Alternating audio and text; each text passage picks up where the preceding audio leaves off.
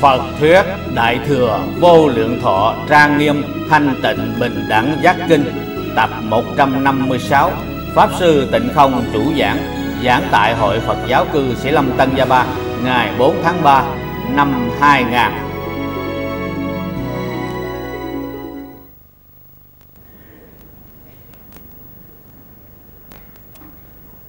Chúng ta học Phật, Nói một cách rõ hơn. Học Phật là học làm người. Học làm người tốt. Học là một người đứng đắn. Phật là người toàn vẹn tốt đẹp nhất. Không có khiếm khuyết chút nào. Thì gọi người này là Phật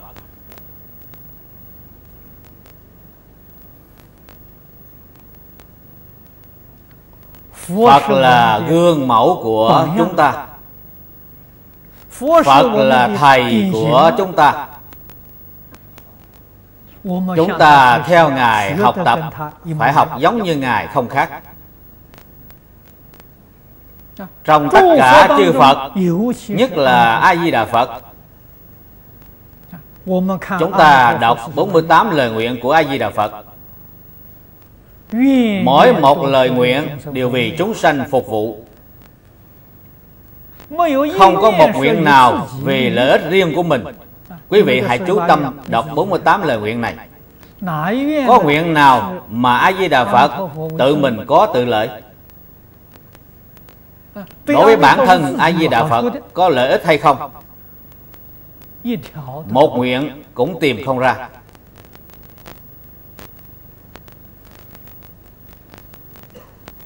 Chúng ta phải học theo Ngài. Tại sao chư Phật Bồ Tát không vì cá nhân mình Mà là vì tất cả chúng sanh? Nếu quý vị đối với kinh giáo Chỉ cần hiểu được chút ít Cũng có thể trả lời được câu này. Tuy quý vị trả lời được Nhưng không làm được Không làm được Vẫn là uổng công Phật bảo với chúng ta rằng Pháp giới vốn là nhất chân Lục đạo thập pháp giới là giả không phải thật Mọi người đối với Kinh Kim Cang Bát Nhã đọc rất là thuộc Phần tổng kết sau cùng là một bài kệ Tất cả Pháp hữu vi như mộng nguyện bột bóng Như xương cũng như điện Bài kệ này là nói những gì? Là nói lục đạo thập pháp giới. Hình tượng của lục đạo thập pháp giới là mộng nguyện bọt bóng. Thời gian tồn tại của lục đạo Pháp giới là như xương cũng như điện. Ngày nay chúng ta thật là bất hạnh, Bị rơi vào trong đó. Vì sao bị rơi vào trong đó? Phật nói, quý vị có vọng tưởng phân biệt chấp trước. Nên biến hiện ra cảnh giới đó.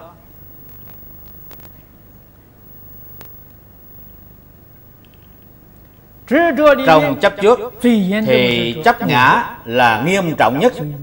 Cho nên chỉ cần quý vị có chấp ngã, thì từ chỗ này sanh ra tự tư, tự lợi. Rất nghiêm trọng. Vì vậy quý vị rơi vào trong lục đạo, do chấp ngã mới có lục đạo.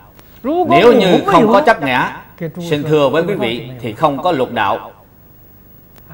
Cho nên vì sao phật không có tự tư, tự lợi? Trong kinh Phật dạy phương pháp cho chúng ta phá trừ lục đạo.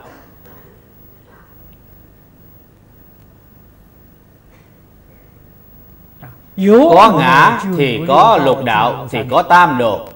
Vô ngã chẳng những không có tam đồ cũng không có lục đạo.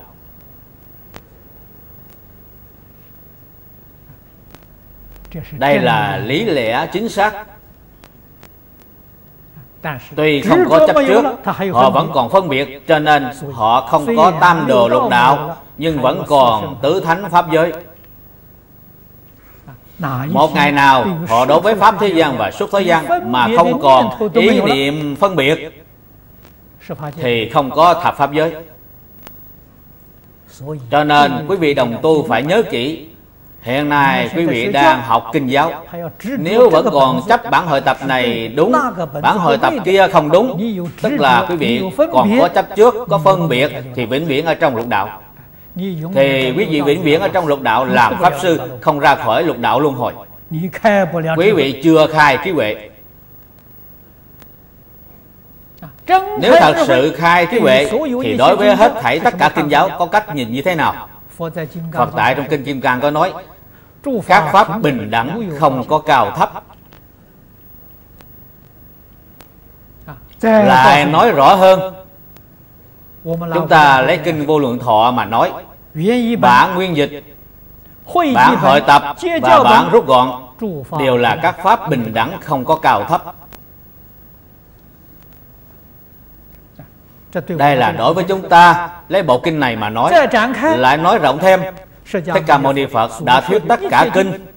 Bất luận là hiển tông Hay mật tông Hoặc tông môn giáo hạ, Cũng đều là pháp pháp bình đẳng, Không có cao thấp.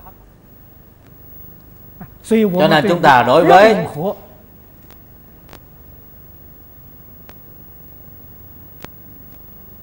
bất cứ kinh sách của giáo phái nào cũng phải tôn trọng như nhau. tuyệt đối không có ý niệm cao thấp. Thể có ý niệm cao thấp thì chúng ta đã sai. Đại sư ngộ ích có nói cảnh duyên không tốt xấu tốt xấu tại nơi tâm Cảnh giới bên ngoài không có lỗi Chúng ta khởi tâm động niệm là có lỗi. Chẳng những hết thể Tông phái trong Phật giáo không có cao thấp. Chúng ta mở rộng thêm. Hiện nay ở Tân Gia Ba Chúng ta tiếp xúc với chính đại tôn giáo. Bất cứ kinh sách của tôn giáo nào Tôi lật xem cũng là các pháp bình đẳng không có cao thấp.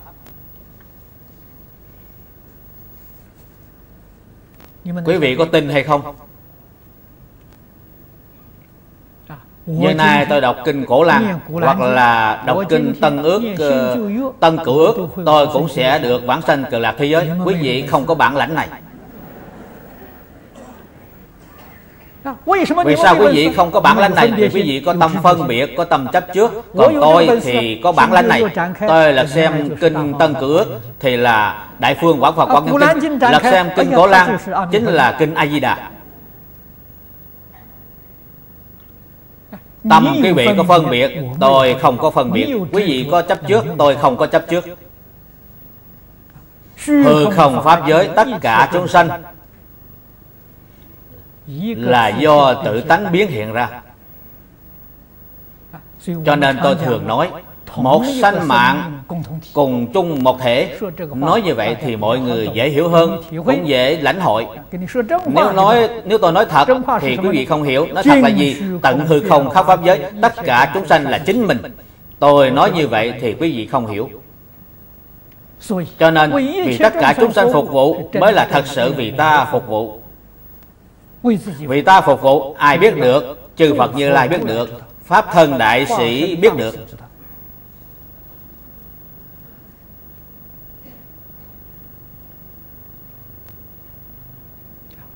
đây là trí huệ chân thật. Là phật pháp viên mãn. Là giáo học viên mãn. Quý vị học tập không ngừng mà nâng lên cao dần dần có thể khế nhập vào cảnh giới này. khế nhập cảnh giới này thì mới được đại tự tại. Khế nhập cảnh giới này thì mới thật sự biết tùy duyên Bây giờ quý vị không được tự tại. Bây giờ quý vị không có cách nào tùy duyên. Thể khế nhập vào cảnh giới này Thì được đại tự tại. Thì biết tùy duyên Mới hiểu được Phật dạy cho chúng ta những gì.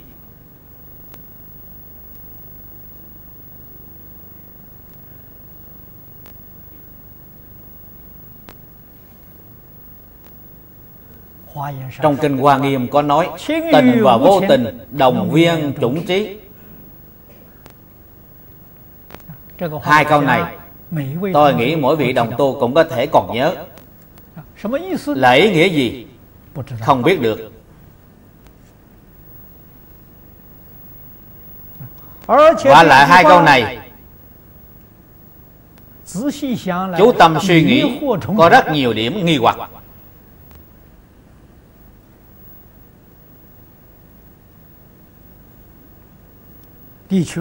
Quả thật ý nghĩa của hai câu này quá sâu quá rộng.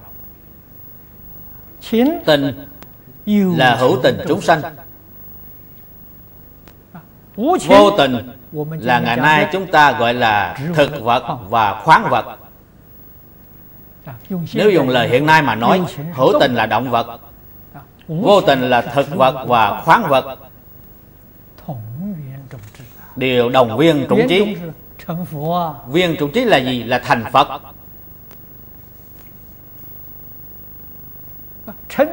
Thành Phật gì? Thành một vị Phật. Quý vị có hiểu hay không? Càng nói thì càng không hiểu. Cùng thành một vị Phật. Phật tại trong Kinh Hoa Nghiêm Gọi một vị Phật này là Pháp thân Phật cùng thành một vị pháp thân phật. trong kinh nói mười phương ba đời phật cùng chung một pháp thân. cho nên pháp thân phật là một vị phật. Là chân phật. Là thuần chân không vọng. Bảo thân phật là trí huệ viên mãn còn ứng hóa thân phật là dùng lời hiện nay mà nói tức là nghệ thuật cao siêu.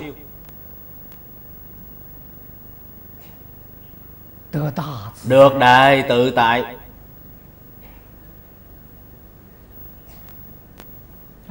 Có thực hiện thì mới có thọ dụng. Không thực hiện thì quý vị không được thọ dụng những lời dạy từng chữ từng câu trong kinh. Không cần thọ trì rất nhiều chỉ cần quý vị thọ trì mấy câu thì suốt đời được thọ dụng vô cùng vô tận. Đem lại cho quý vị hạnh phúc vô tận.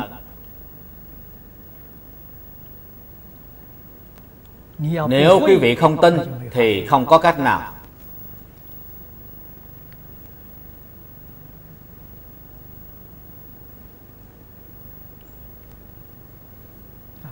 mọi người phải nhớ kỹ. Phật dạy cho chúng ta học làm người Học làm người tốt Học làm người toàn diện tốt đẹp nhất Không có khuyến khiếp chút nào. Quý vị phải nắm lấy phương hướng này Nắm lấy mục tiêu này.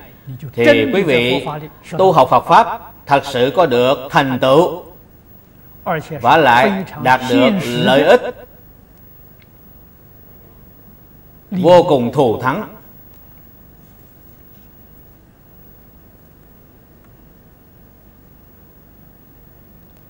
Tất cả chúng sanh.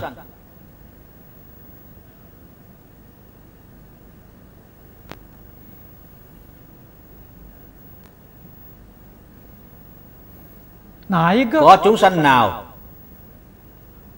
khi lục căn tiếp xúc cảnh giới lục trần bên ngoài mà không sanh phiền não? Mắt thấy sắc tai nghe tiếng.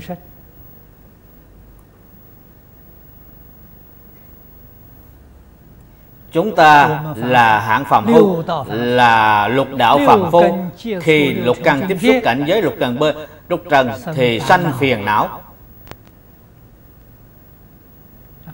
Gặp thuận cảnh thì sanh tâm tham ái. Gặp nghịch cảnh thì sanh tâm chán ghét thì sanh tâm sân hận.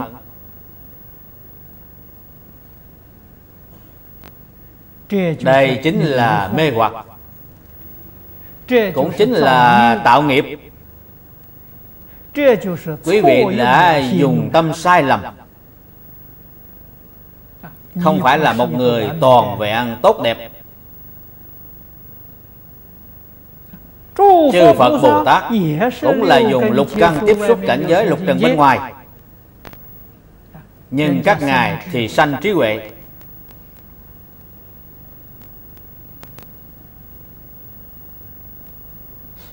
Các ngài được tự tại và thành tựu vô lượng công đức. Vì sao lại có khác biệt xa như vậy?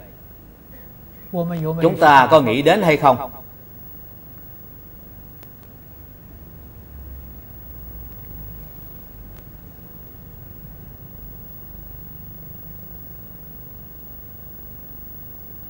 Thật ra, đều do dùng tâm khác nhau. Dùng tâm chính là cái gốc. Tất cả phạm phu chúng ta dùng tâm bất thiện còn chư phật bồ tát là dùng tâm thiện. Chúng ta không biết dùng tâm thiện.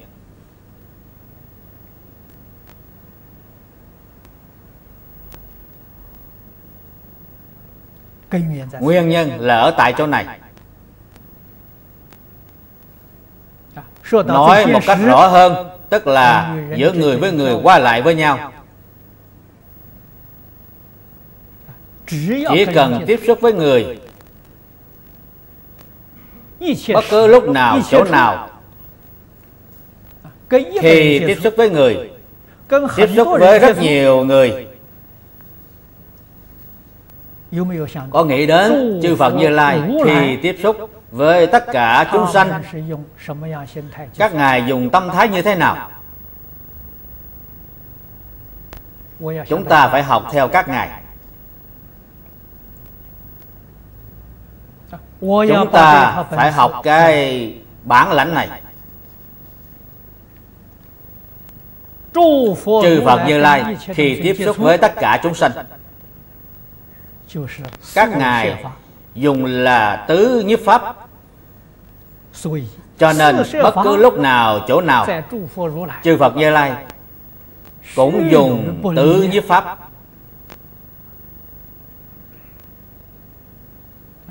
các ngài dùng trong cuộc sống. Dùng trong lục căn tiếp xúc cảnh giới lục trần còn chúng ta thì không biết dùng. Thật tại mà nói chúng ta cũng không hiểu ý nghĩa thật sự của tứ nhiếp pháp. Trong tâm nghĩ rằng cái danh từ này là bốn thứ nhiếp thọ tức bốn thứ phương pháp nhiếp thọ chúng sanh. Hiện nay chúng ta vẫn chưa nhiếp thọ chúng sanh. Vậy thì không cần dùng cái phương pháp này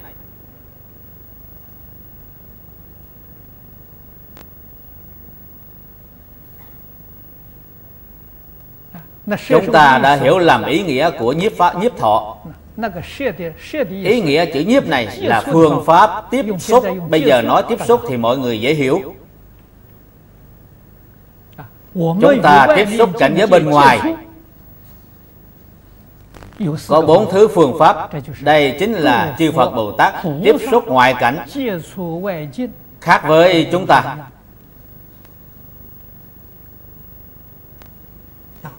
khi các ngài tiếp xúc thì dùng bố thí dùng lời hiện nay mà nói tiếp xúc tức là tình nguyện vì chúng sanh phục vụ nay chúng ta tiếp xúc với mọi người không có tình nguyện vì chúng sanh phục vụ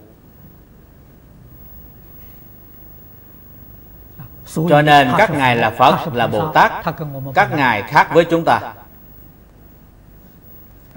quý vị nên biết bất cứ lúc nào bất cứ chỗ nào. khi tiếp xúc với tất cả chúng sanh phải nghĩ đến ta vì chúng sanh phục vụ.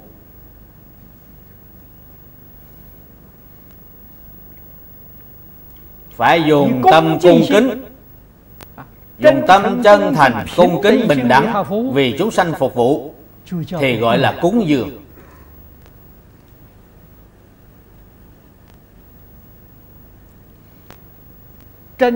tâm chân thành thanh tịnh bình đẳng mà không viên mãn thì gọi là bố thí. Nếu viên mãn thì gọi là cúng dường.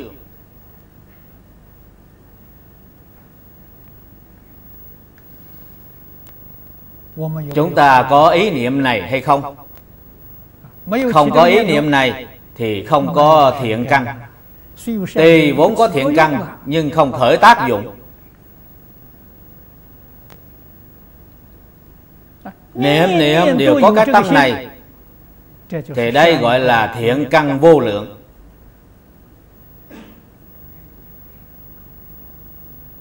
Quý vị thật sự là thiện nhân. Thì phù hợp với tiêu chuẩn. Ở tây phương cực lạc thế giới phù hợp với sự yêu cầu của các bậc thượng thiên nhân ở cõi cực lạc. Quý vị là thượng thiện. Khởi tâm động niệm đều tình nguyện giúp đỡ cho người khác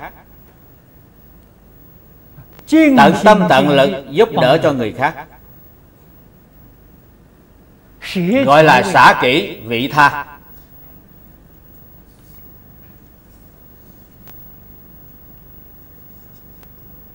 Điều thứ hai là ái ngữ. Trong phạm vi ái ngữ bao quát rất rộng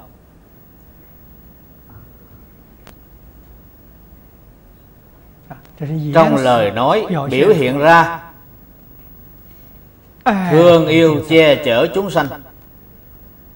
Quan tâm tất cả chúng sanh.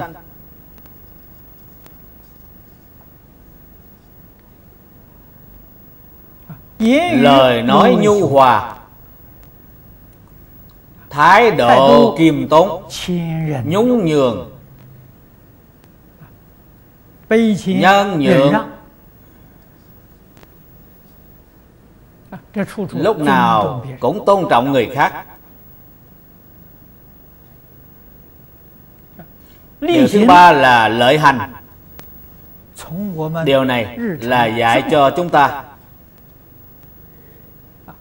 trong cuộc sống hàng ngày và trong công việc thấy điều làm lợi ích cho tất cả chúng sanh. Cuộc sống của mình là làm cho người khác thấy tức là làm tấm gương cho người khác thấy cũng làm tấm gương cho quỷ thần thấy。như trong giảng đường của chúng ta đây mọi người đều biết quỷ thần cũng đang nghe kinh số lượng quỷ thần còn nhiều hơn số người chúng ta không biết là bao nhiêu lần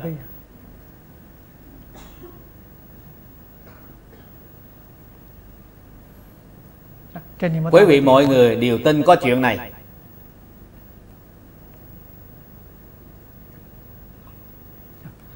Chẳng những chúng ta có thể giúp cho những chúng sanh mà nhục nhãn chúng ta nhìn thấy Mà còn giúp cho những quỷ thần mà nhục nhãn chúng ta không nhìn thấy.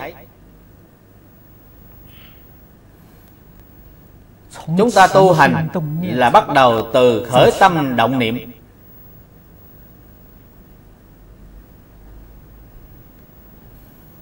Điều thứ tư là đồng sự.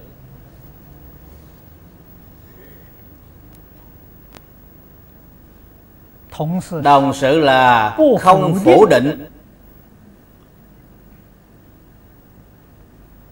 Văn hóa của chúng sanh. Không phủ định phương thức sinh hoạt của họ. Không phủ định sự ưa thích của họ chúng ta cũng giống như họ vậy.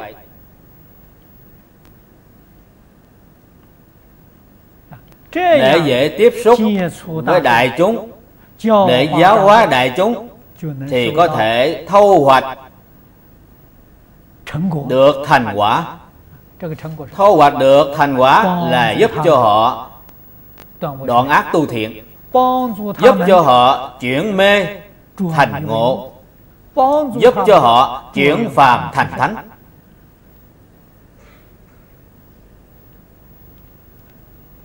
hãy đều thực hiện trong cuộc sống. không phải là nói lúc quý vị đi giảng kinh thì mới dùng phương pháp này không phải vậy không kịp đâu. Chúng tôi giảng dạy. lúc dạy quý vị phương pháp giảng kinh phải quán cơ ba thứ nếu lúc quý vị lên giảng đài mới quán cơ thì không kịp rồi phải quán cơ lúc nào bất cứ lúc nào chỗ nào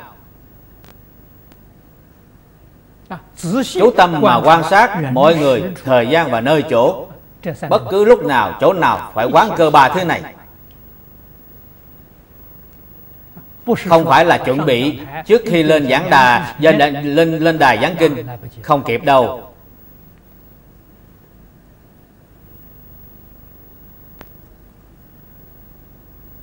Do đây mới biết Phật Pháp dạy cho chúng ta là cuộc sống thực tế.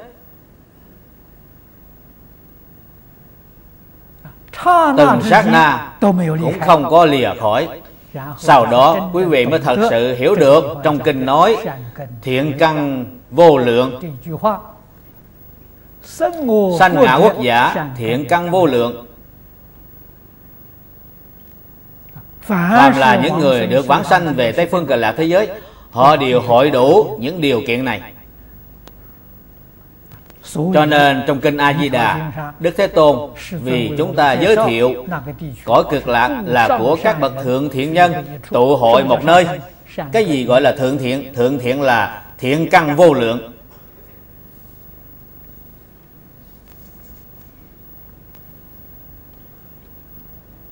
Nếu chúng ta không hội đủ những điều kiện này. Dù có niệm Phật Cũng không được vãng sanh Đến sau cùng vẫn còn trong luân hồi Lại còn quán trách. Thích Ca Mâu Ni Phật đã lừa gạt ta. Ta đã niệm Phật suốt một đời Cũng không được vãng sanh. Ta đã bị Thích Ca Mâu Ni Phật lừa gạt. Đó là quý vị không hiểu lời của Phật dạy. Thích Ca Mâu Ni Phật giảng rất rõ ràng. Quý vị đã hiểu hiểu lầm ý của Ngài. Tự mình không có cố gắng tu học Cũng không hội đủ những điều kiện này Lại còn quán trách người khác. Cái tội lỗi này rất nặng. Đây là quỷ bán tam bảo Đọa địa ngục A Tỳ.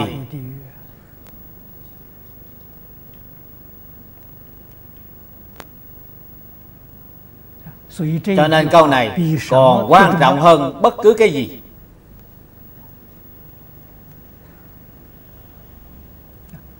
Câu kế tiếp là nói về quả báo. Dài đất kim cang na la diên thân Kiên cố chi lực. Cho nên một nguyện này gọi là nguyện Na La Diên Thân. Na La Diên là tiếng Phạm.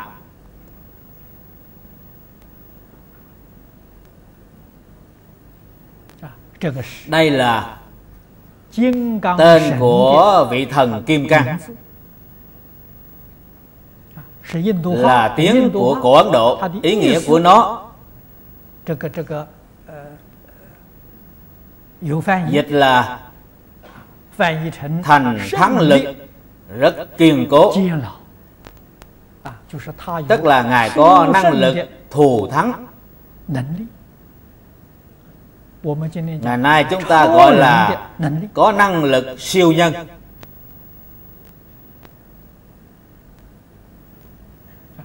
cho nên gọi ngài là thần kim cang.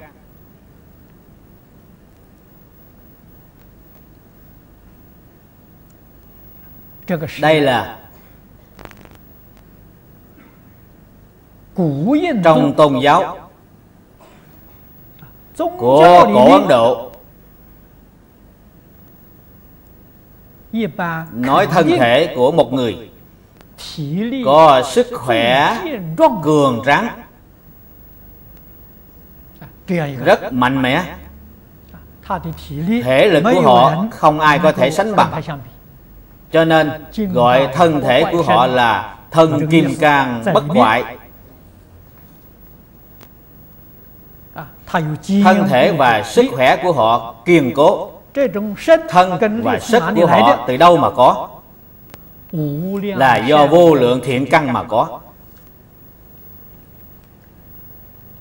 quý vị tu thiện đây là nhân. quý vị sẽ được quả báo. Thù thắng.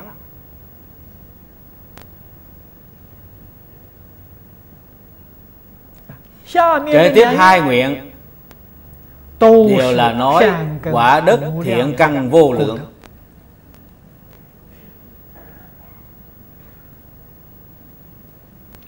do đây mới biết tính quan trọng của đoạn ác tu thiện.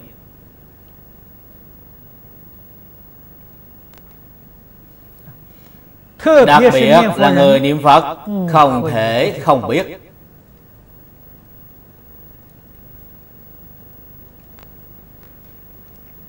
Ở chỗ này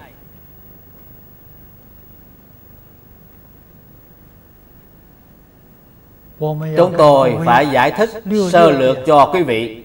Thì quý vị mới biết được trí huệ chân thật của Thích Ca Mâu Ni Phật. Và thiện xảo phương tiện của Thế Tôn.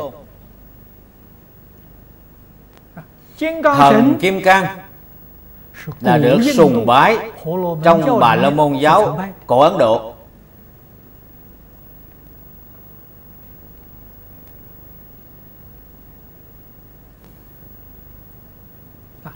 Tức là trong kinh Phật của chúng ta gọi là Đại Phạm Thiên Vương.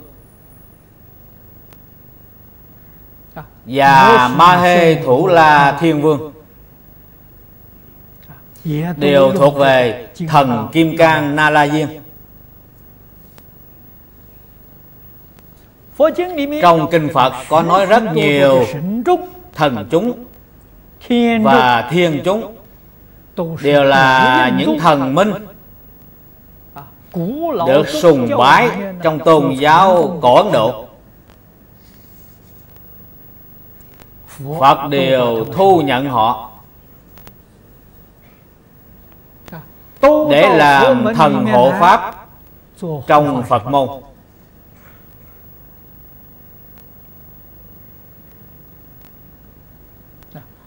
trong đạo tràng Phật giáo của chúng ta cũng có thờ phụng họ.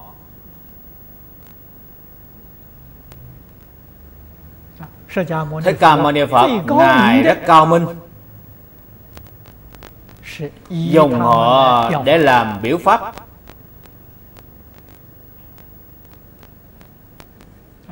Khiến cho chúng ta khi nhìn thấy những thiên thần Và chúng thần thì chúng ta mở mang trí huệ. Dùng danh hiệu và hình tượng cũng là cách thức giáo hóa rất hay.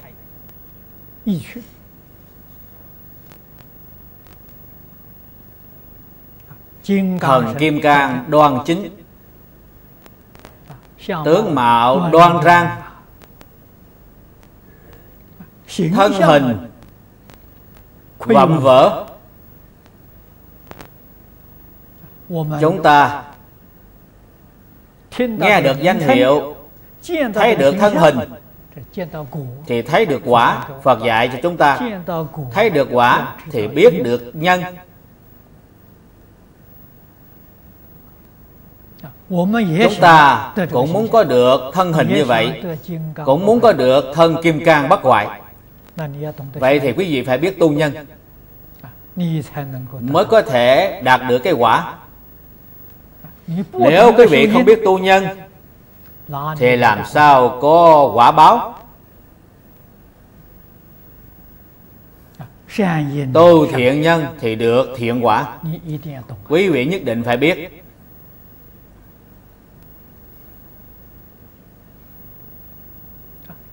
thần kim cang bất hoại từ đâu mà có? là do vô quý bố thí mà có.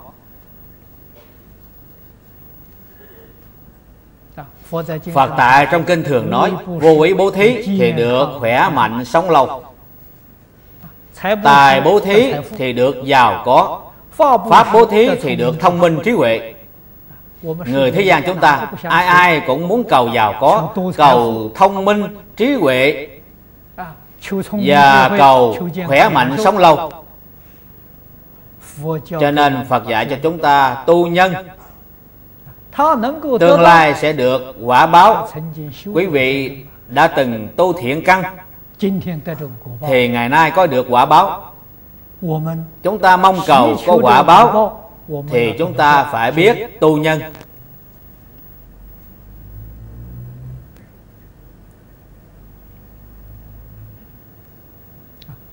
Trong buổi giảng kinh lần trước Chúng tôi có mời cư sĩ Hứa Triết đến đây Để cho mọi người gặp mặt. Năm nay bà 101 tuổi. Quý vị đã thấy thân thể và sức khỏe của ngài của bà Sự phản ứng của bà。Khoảng chừng như người ba bốn chục tuổi vậy。Mọi người đều nhìn thấy rất hâm mộ。Xin bà chỉ dạy trong cuộc sống hàng ngày như thế nào。Bà nói cho chúng ta nghe cái nhân của bà。Bà nói bà đã hơn 100 tuổi Trong suốt đời này chưa chưa từng có nóng giận Nếu chúng ta muốn có được thân thể khỏe mạnh như bà vậy Thì phải học không nóng giận. Đây là thiện nhân. Suốt đời không có oán hận người nào.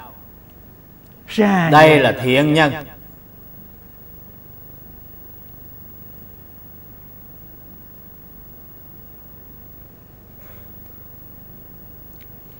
Bà suốt đời không có nghĩ đến cá nhân mình Thật là hiếm có. Đây là thiện căn. Trong suốt đời bà khởi tâm động niệm Đều quan tâm đến người già, người bệnh. Làm thế nào phục vụ cho người già, người bệnh?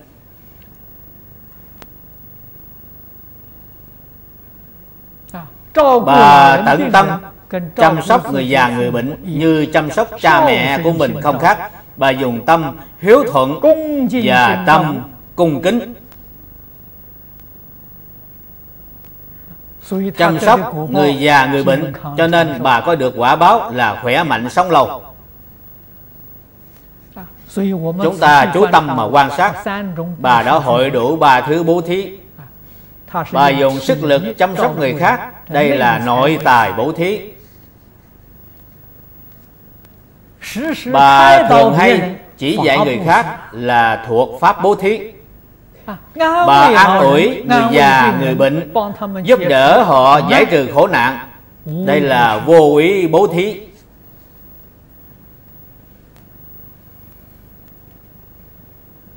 Bà trồng thiện nhân được thiện quả. Chính mắt chúng ta đã nhìn thấy. Tôi mời cư sĩ hứa triết đến đây Để cho mọi người gặp mặt. Bà làm chứng minh cho chúng tôi. Chúng tôi mỗi ngày giảng kinh Tìm một chứng minh Để cho mọi người đều nhìn thấy Đây là sự thật không phải là giả.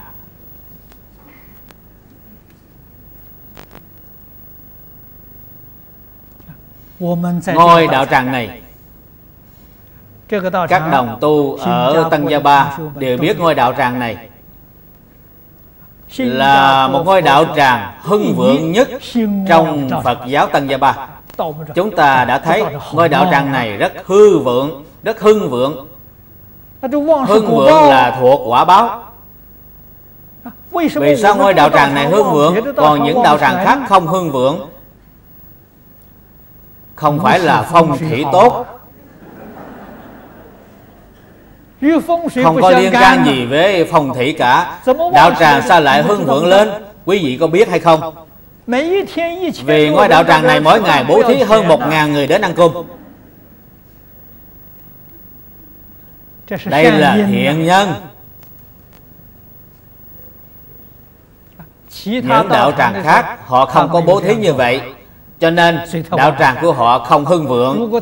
Nếu đạo tràng của họ mỗi ngày bố thí cơm nước cho mấy ngàn người ăn Thì đạo tràng của họ sẽ hưng vượng hơn đạo tràng của chúng ta Hưng vượng từ đâu mà có? Là do bố thí. Ái ngữ, lợi hành, đồng sự Mà được hưng vượng.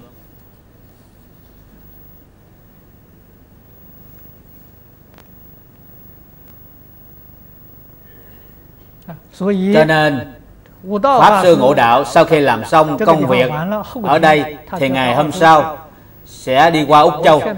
Tôi khuyên Pháp Sư Ngộ Đạo ở Úc Châu xây dựng một ngôi đạo tràng. Việc đầu tiên là phải bố thí cúng dường. Cúng dường cho hết thảy tất cả chúng sanh. Đương nhiên, hoàn cảnh bên Úc Châu khác với ở Tân Gia Ba này. Bởi vì những người ở bên Úc Châu không có tin Phật Pháp, Họ đều là tín đồ của cơ đốc giáo. Khi quý vị tiếp xúc với họ, Nhất định phải có trí huệ cao. Làm thế nào ở bên Úc Châu lập mối quan hệ? Thì mở tiệm cơm chay. Mở tiệm cơm chay là để tiếp đón mọi người đến ăn. Thế nhưng không thể không lấy tiền. Không lấy tiền thì không thể duy trì được. Phải làm sao đây? Chỉ lấy lại tiền vốn mục đích không phải mưu lợi những tiệm cơm khác ăn một bữa cơm phải trả 10 đồng Còn tiệm cơm của quý vị chỉ mất chỉ lấy 3 đồng mà thôi. Chắc chắn mọi người đều đến tiệm cơm của quý vị Thì pháp duyên của quý vị tự nhiên hưng vượng.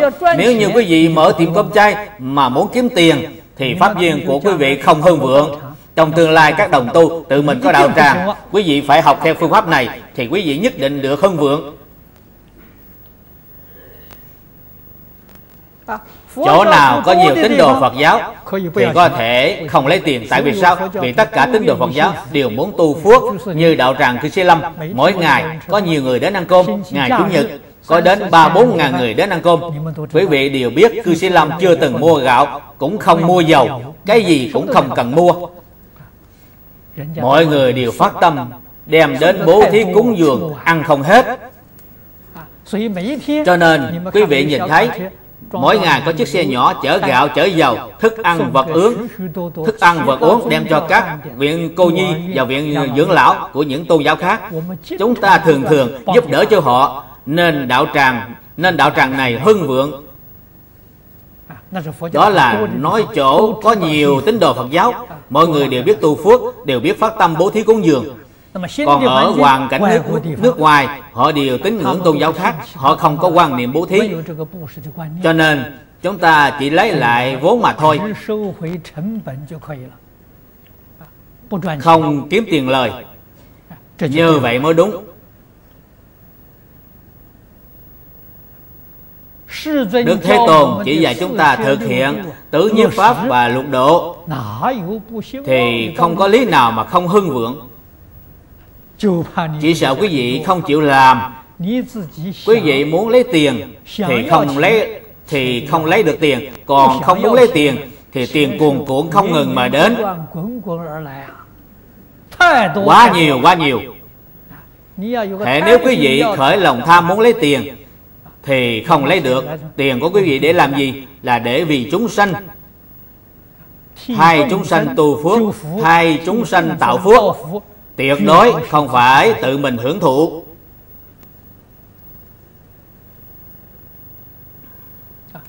Làm như vậy mới đúng.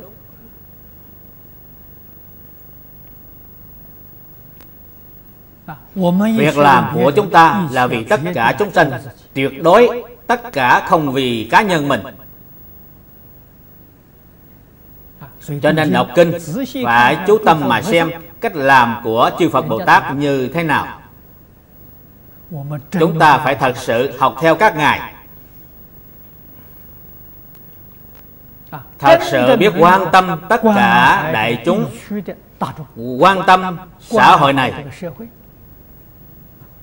Thường thường nghĩ đến ta phải làm gì cho xã hội này? Phải vì đại chúng làm những gì? Không nên nghĩ đến họ, vì ta làm những gì tuyệt đối không nghĩ đến điều này. Chúng ta chỉ có cống hiến mà không cầu đền đáp. Chúng ta được đền đáp như thế nào thì như cư sĩ hứa trước vậy, khỏe mạnh sống lâu. Thì tiền đồ của chúng ta một màu sáng sủa. Cư sĩ hứa triết tin ông trời chăm lo cho bà Chúng ta cũng tin có chư Phật Bồ Tát Thiên Long Thiện Thần hộ trì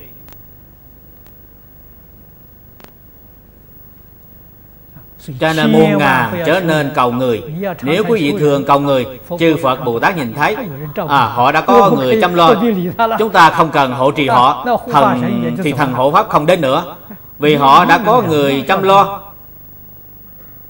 Này chúng ta không cầu ai cả. Chư Phật Bồ Tát nhìn thấy.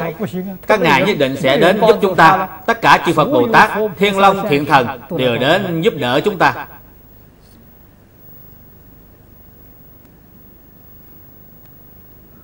Lý như vậy, Sự thật cũng như vậy.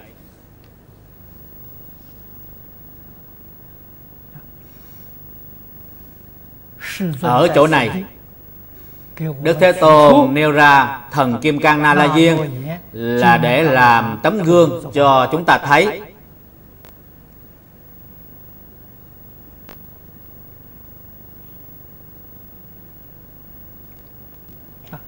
Cổ Đại Đức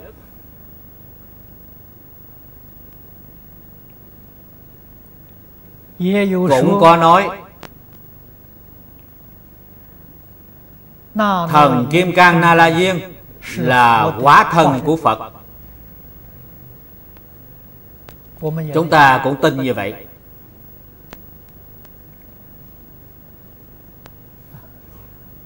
Đây là chúng ta đọc trong kinh. Nói chư phật như lai và pháp thân đại sĩ nên lấy thân nào được độ thì các ngài hiện thân đó. Nên lấy thân kim cang na la diên được độ thì các ngài hiện thân kim cang na la diên.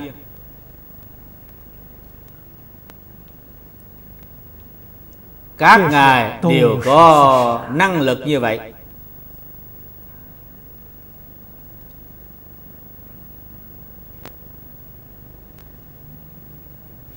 cổ đại đức. Tại trong chú giải kinh luận có nói thân tâm của chúng sanh có liên hệ với nhau. Lục đạo chúng sanh ai ai cũng đều là như vậy. Thân có khổ sướng tâm có buồn vui.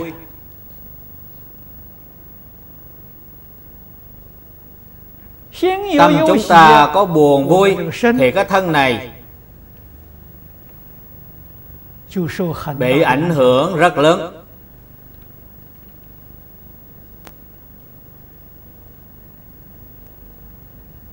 Cho nên trong sách y học của trung quốc có quyển có quyển nguyên thị nhất gọi là hoàng đế nội kinh cũng gọi là linh su. Đây là quyển sách y học cổ xưa nhất của trung quốc. Nội dung của quyển y học này có nói đến thọ mạng của con người bình thường là 200 tuổi Nếu quý vị sống không tới 200 tuổi Là vì quý vị không biết bồi dưỡng thân thể. Quý vị đem thân thể của mình đã làm hư hại. Mà hư hại nghiêm trọng nhất là gì? Chính là tinh thần và tâm lý của quý vị. Cho nên có câu Lo buồn khiến cho người mau già sẽ làm tổn hại thân tâm của quý vị rất nghiêm trọng. Lo buồn khiến cho người mau già, hoang lạc cũng không phải là chuyện tốt. Sẽ khiến cho sanh mạng của quý vị giảm thọ.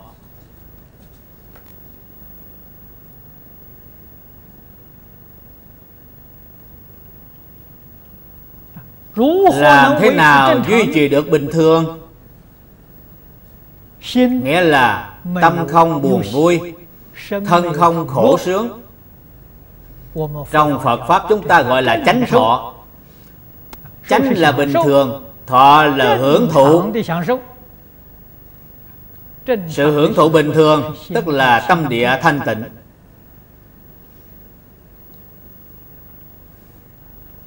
trong nhà phật gọi là định huệ đẳng học. Chính là hưởng thụ bình thường. Trong tâm. không khởi tâm. không động niệm không phân biệt không chấp trước. Đối với cảnh giới bên ngoài thấy rất rõ ràng liễu liễu phân minh. Đây là huệ. Như như bất động là định. Thì gọi là chánh thọ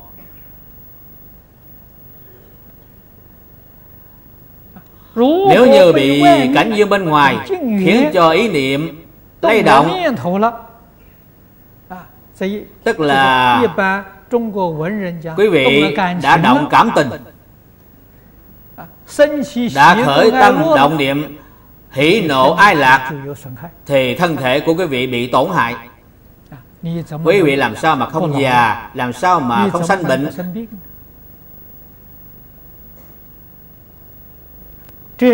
đó là nguyên nhân mạng sống của quý của chúng ta. đã bị giảm thọ.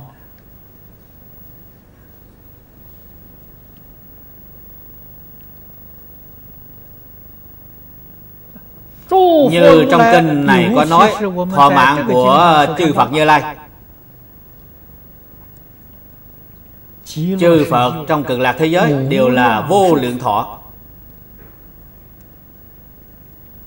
tức thọ mạng vô lượng. Chúng ta đọc đến câu kinh văn này. Thì tâm sanh ra nghi hoặc. Cái vô lượng này có phải là thật vô lượng hay là giả vô lượng? cho nên chúng ta học phật tâm không thành thật những người thành thật đều được thành tựu. Những người nào thành thật là những bà lão ở dưới quê. Họ không biết cái gì là vô lượng thọ. Họ cũng không có nghĩ đến hữu lượng hay vô lượng Cũng không biết thật vô lượng hay là giả vô lượng. Nhưng mà họ niệm Phật được quán sanh Thật sự đã được thành tựu. Còn chúng ta sau khi nghe rồi Thì lại nghĩ có phải là thật vô lượng hay là giả vô lượng? Nghe nói trong tương lai A-di-đà Phật nhập Niết Bàn Thì Quan Thế Âm Bồ Tát kế tiếp thành Phật Rốt cuộc là thật vô lượng hay là giả vô lượng Rốt cuộc tự mình vẫn không ra khỏi lục đạo luân hồi. Đã bị thiệt thôi.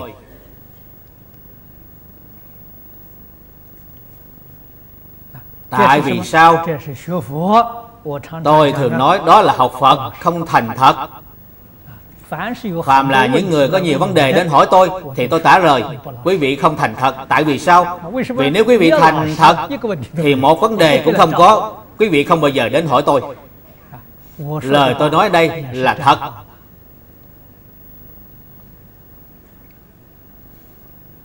Những người thành thật Thì tâm họ được định Tâm định thì khai huệ Những người không thành thật Thì tâm họ động. Trong tâm họ suy nghĩ lung tung Không có trí huệ. Dù có giảng giải cho họ nghe Họ nghe cũng không hiểu. Thật tại mà nói Vừa có giảng giải rất tường tận Họ cũng rất khó lãnh hội. Vì tâm của họ không thành thật Cổ Đại Đức dạy cho chúng ta phải thành thật niệm Phật. Nhưng chúng ta cứ không thành thật. Cho nên rất khó được thành tựu.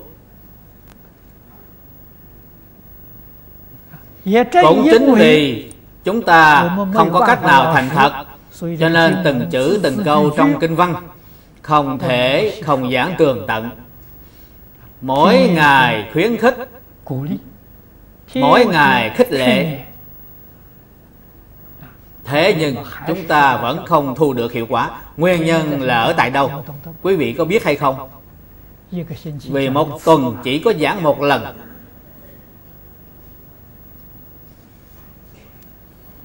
Cho nên không thu được hiệu quả Nếu muốn thật sự thu được hiệu quả Là phải mỗi ngày giảng giải Mỗi ngày khích lệ mọi người.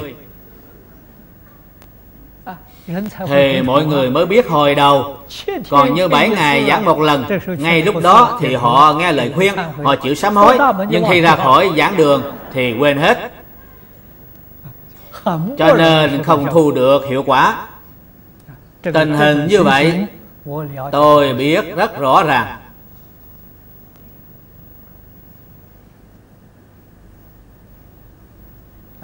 cho nên trong đời này có được một chút thành tựu.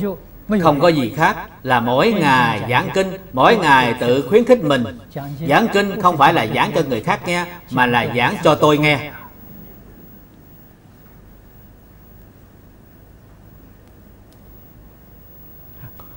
Cổ đại đức thường dạy thâm nhập một môn huân tu lâu dài thì mới thật sự hiểu rõ biết giác ngộ. Tuân theo lời dạy của đức thế tôn thực hiện trong cuộc sống thực hiện trong quan niệm. biết sửa đổi quan niệm. Lời nói hành vi hoàn toàn thay đổi.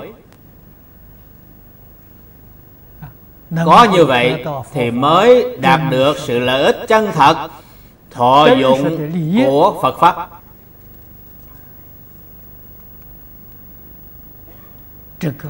Tất cả chúng sanh đều mong ước sự thù thắng thân kim cang bất hoại. Chúng ta cũng có thể đạt được thế nhưng quý vị nhất định phải nhớ kỹ, trong kinh vô lượng thọ vừa mở đầu, thì đức thế tôn truyền thọ cho chúng ta tổng cương lĩnh tu học. Đó là hàm cộng tuân tu phổ hiền đại sĩ chi đức. Câu này là tổng cương lĩnh tu học của tịnh tông cho nên cổ đại đức gọi kinh vô lượng thọ là trung bản hoa nghiêm. là do từ câu này mà có mà nói.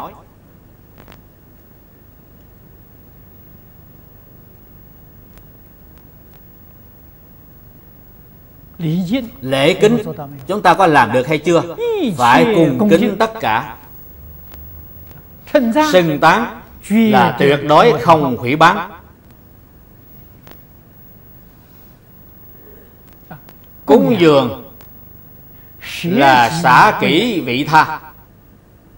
Tự mình phải biết sám trừ nghiệp chướng. Chúng ta có làm hay chưa?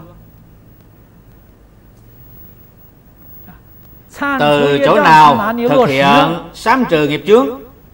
Thì trong kinh có dạy rất rõ ràng là thiện hộ tam nghiệp quý vị mà khéo giữ ba nghiệp thì quý vị được thân kim cang bất hoại. thì quý vị sẽ có thân thể thù thắng như thần kim cang na la duyên vậy.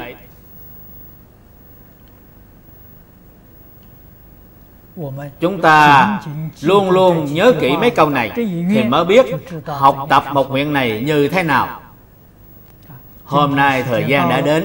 Chúng tôi xin giảng đến đây.